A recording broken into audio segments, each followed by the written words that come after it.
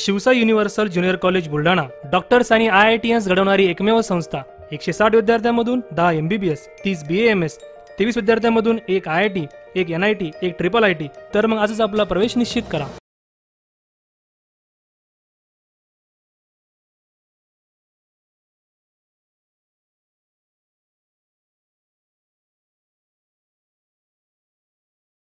आज प्राप्त एक हजार आठशे चौदा अहवालांपैकी जिल्ह्यात चार जणांचे अहवाल कोरोना पॉझिटिव्ह आले असून आज उपचारांती तीन जणांना सुटी देण्यात आली आहे. तर आज कोरोनामुळे दोन रुग्णांचा मृत्यू झाला आहे त्यामुळे मृतकांची संख्या सहाशे एकाहत्तर इतकी झाली आहे.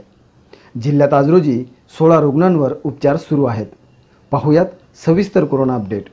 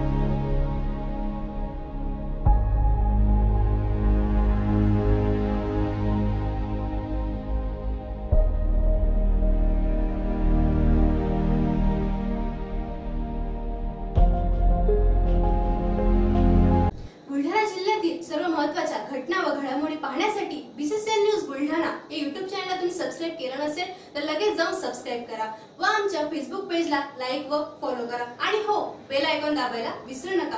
पाहत रहा बीसीसीएन न्यूज चोवीस वर्षे विश्वासाची.